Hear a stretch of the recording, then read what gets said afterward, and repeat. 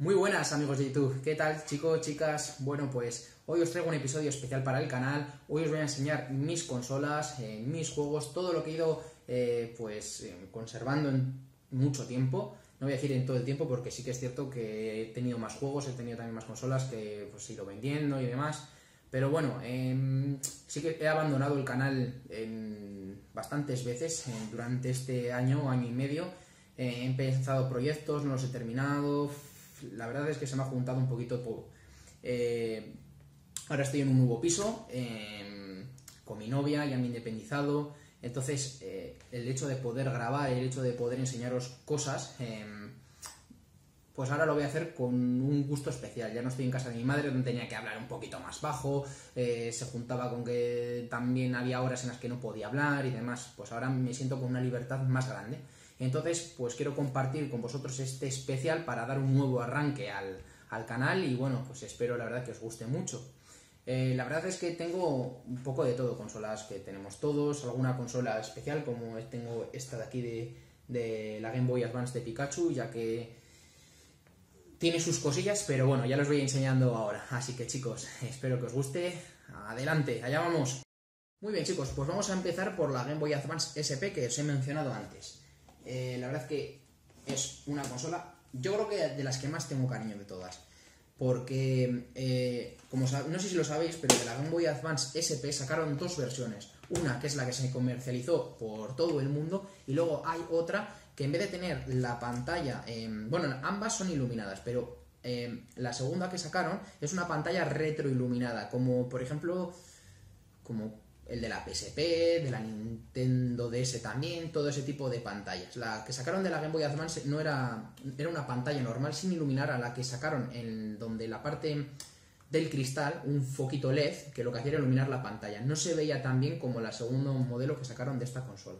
Entonces encontré eh, un anuncio en eBay de un chico que había modificado eh, la consola, la Game Boy Advance SP, que no tenía la pantalla retroiluminada, había cambiado la pantalla, había encontrado eh, esta eh, versión de Pikachu y la había modificado. La verdad que está intacta, está impoluta, nueva.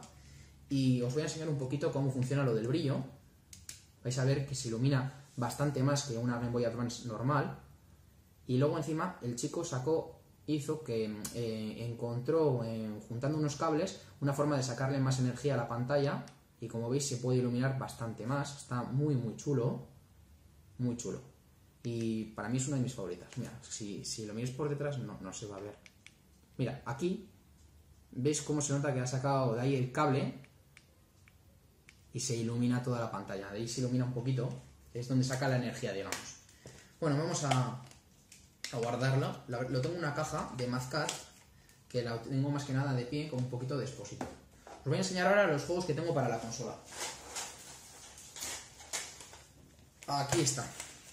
Vais a ver que están en unas cajas de cassette porque tengo un proyecto eh, con ellas. Mira, los tengo en, unas cajitas de cassette. Ya verás que queda muy chulo porque mi proyecto es juntarlas todas, tenerlas eh, aquí en recto y eh, hacer eh, por el PowerPoint unas portadas eh, y ponerlas con papel para que quede muy chulo, porque ya sabéis que las cajetillas de estos juegos eran de cartón, entonces la mayoría de ellos han perdido, bueno, no tengo ninguna, la verdad que no tengo ninguna, pero va a quedar muy muy chulo así de esta manera.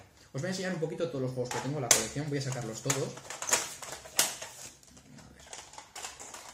He de decir que he tenido muchísimos más, muchísimos más, muchísimos más.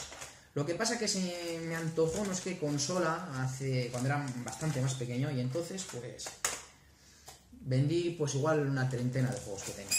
Estos juegos han sido más que nada de que he ido comprando, eh, pues un poco de coleccionista, pero tuve una colección muy muy grande de ella que vendí, de la cual no me arrepiento muchísimo. Pero bueno, vamos a empezar. Vamos a empezar.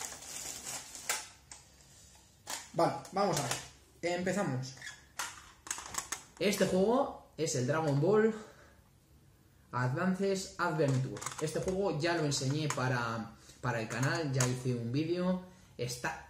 Bueno, un vídeo, hice, enseñé toda la guía del juego. Tuvo bastante éxito. Me encanta este juego, es uno de mis favoritos de Dragon Ball. Y está súper chulo. Hicieron una segunda parte para la Wii, también he jugado, no me gusta tanto, pero también está muy bien. Muy bueno este juego. Siguiente, los Sims toman la calle. Este juego, cuando era muy pequeño, me acuerdo que le echaban muchísimas horas. Está súper chulo.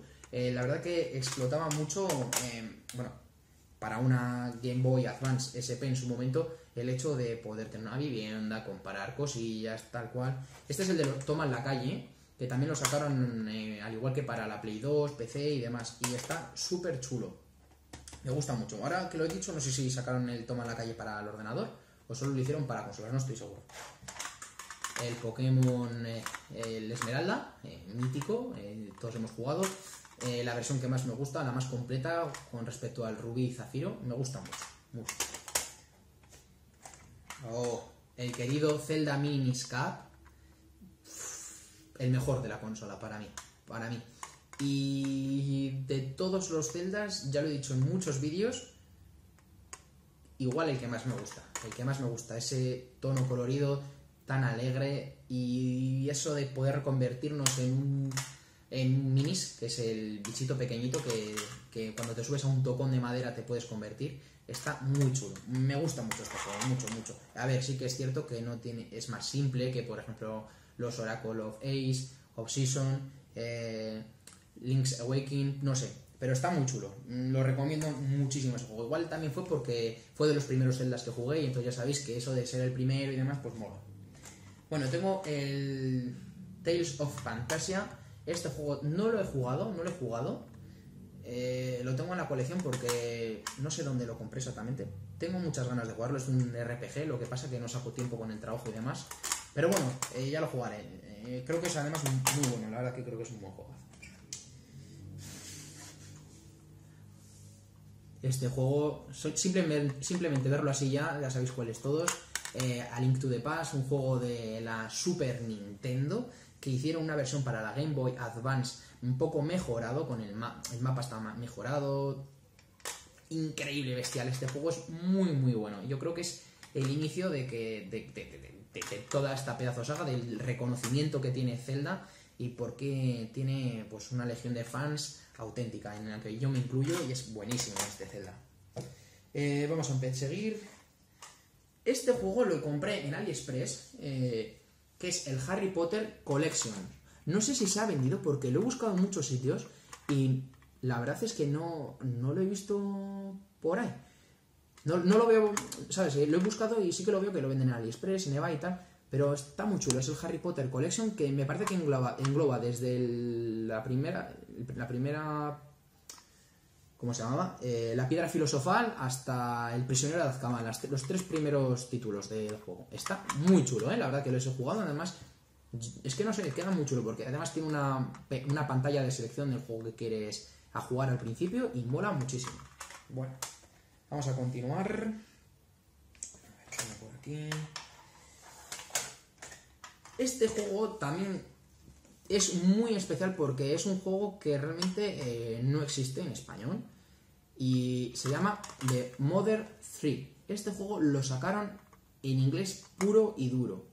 Y a lo largo de los años este juego, que ha gustado tanto, eh, lo traducieron al español. Bueno, pues este juego lo he comprado en AliExpress. Eh, si os gusta de verdad, apuntarlo y comprarlo porque están a 6 euros, 5 eurillos. Y mira, lo pone aquí.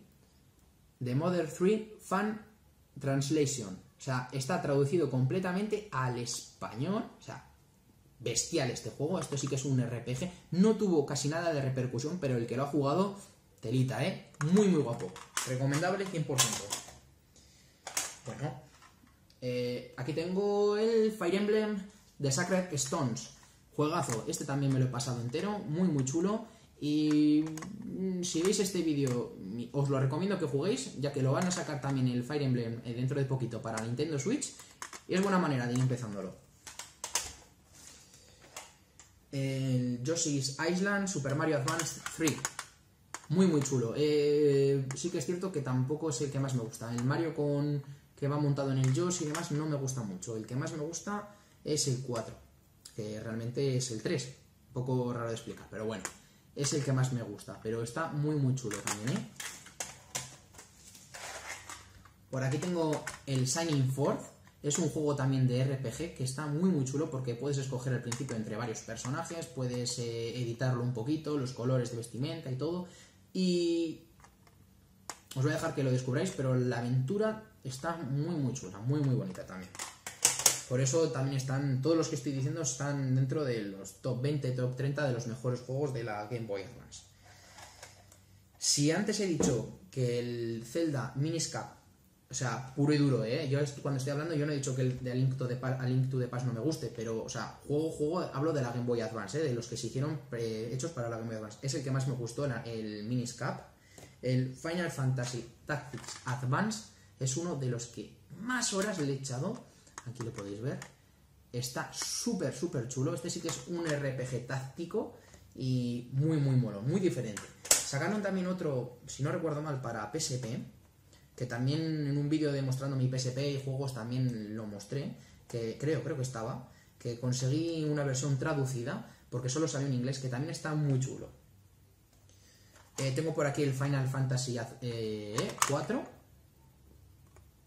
en completo español, muy muy chulo también este juego. Estos juegos están muy difíciles de conseguir ahora mismo, la verdad que los venden por unos precios bastante, bastante descabellados y mi intención es conseguir la colección completa de los Final Fantasy, pero ojo, están, están un poco caros. Y tengo también el Final Fantasy, el 6, que me gusta muchísimo. Es uno de los de... Eh, a ver, de los clásicos de Final Fantasy hasta el 7, yo creo que el que más me gusta, yo creo, el 6, la verdad que me gusta mucho.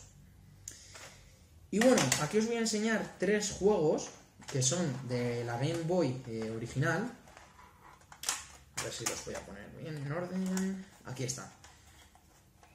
Que están en completo español. Eh, los he cogido en AliExpress. No son originales, pero simplemente los tengo porque son tres obras maestras. Las necesito en mi colección. Y es el Zelda, The Legend of Zelda Link's Awakening, que es este de aquí. El DX, perdón. Porque sacaron primero eh, para la Color el normal y luego hicieron. No, ¿cómo fue? Para. No, para la Game Boy blanca y negra sacaron el Zelda Link's Awakening y luego es verdad, sacaron para el que tuviera la color o algo así, lo sacaron el DX, no sé cómo fue, no fue exactamente, pero está guapísimo, o sea, guapísimo, muy mítico este juego, muy muy chulo. Eh, ya veis que aquí arriba pone Game, no pone Game Boy ni Game Boy Color, pero me da igual. Tengo los tres, me salieron súper tirados de precio, tampoco tan tirados como 6 euros, un poquito más caro la verdad, pero está muy bien. Tengo aquí el Oracle, el Oracle of Ace y el Oracle of Seasons, que os voy a hacer un adelanto. Estoy grabando la serie completa del Oracle of Ace y luego tengo intención de subir en completa la del Oracle of Season al canal. Del Oracle of Ace ya tengo 6 o 7 episodios. Lo que pasa es que estoy esperando a, a, tenerla por completo para ir subiendo pues día a día o cada dos días un episodio del Oracle of Ace. Y bueno, chicos, pues para finalizar, comentaros que eso, que la verdad que tengo una colección eh, de juegos de la Game Boy Advance bastante pequeñita, es bastante nueva, ya que como os estoy diciendo antes tenía otra, pero bueno, eh, por diferentes motivos pues ya no la tengo. Eh, sí que decir que es pequeñita, pero bueno, son gran parte de los juegos potentes que tiene esta consola.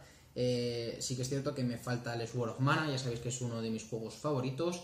Eh, de los cuales eh, el juego el que estoy subiendo al canal, estoy subiendo porque lo tengo bastante paralizado, eh, no está acabado porque lo voy a seguir continuando esa serie, pero tiene, como digo, tiene, tengo que continuarla con calidad, que se vea que, estoy contento grabándola, no que, me sienta, pues que, pues que me quedan 10 minutos al día y pues, pues me voy a poner a grabar por grabar, no, no, no. Y esa es la intención que tengo ahora que os estoy enseñando esto, que estoy enseñando todo lo que tengo, pues pues con el motivo de volver a darle un lavado de cara al canal y, bueno, pues porque ya son muchos años los que llevo aquí, ya sois bastantes suscriptores y pues me siento eh, pues que os debo más y que pues yo quiero subir más, más contenido y que pues eso, que os guste. Ahora lo que para finalizar este, esta primera parte de, vídeos que tengo enseñando mis consolas, eh, vamos a probar un juego, vamos a probar el Zelda Miniscap